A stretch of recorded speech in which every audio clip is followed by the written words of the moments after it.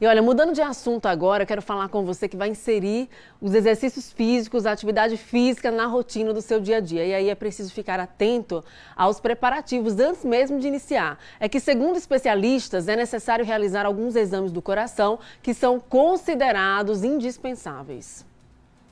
Ingressar em uma academia pode ser o passaporte perfeito para hábitos de vida mais saudáveis e para o bem-estar.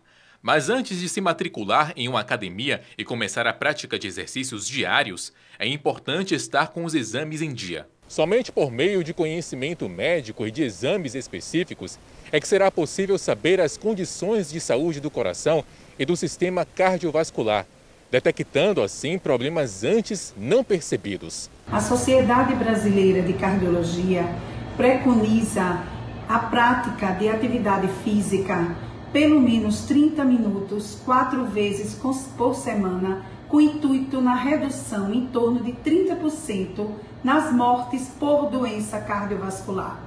Mas ela ressalta a importância de, antes de começar a sua atividade física, procurar o cardiologista, para que ele possa fazer uma avaliação clínica e solicitar os exames cardiológicos que são necessários para detecção precoce de se você é ou não portador de alguma patologia que possa impossibilitar, mesmo que temporariamente, essa prática, ou se você necessita de algum tratamento antes de começá-la. Quando o corpo está em movimento, são liberadas substâncias como a endorfina e a serotonina. Os exercícios são bons aliados na mudança do estilo de vida e para o bom funcionamento do organismo. O César tem 32 anos e há 8 anos que os treinos na academia acabaram virando rotina. Treino para mim é tudo, é disposição, é energia, é saúde. E eu não consigo ficar um dia sem treinar. Quando a academia está fechada dia de domingo, eu fico doente.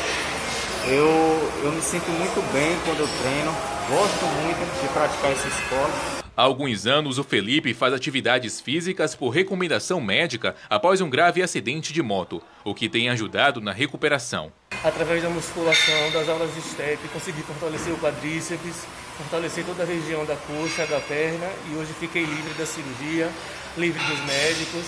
Dados também estatísticos novos, recentes, mostrando que, por exemplo, pacientes com câncer e que é, estão em tratamento com quimioterapia, só o fato de você fazer essa prática diária ou pelo menos quatro vezes por semana de atividade física já ajuda, já facilita seu tratamento do câncer. Então fica aqui o alerta. É, procure seu cardiologista, faça sua avaliação cardiológica para que você possa começar o mais breve possível a sua atividade física.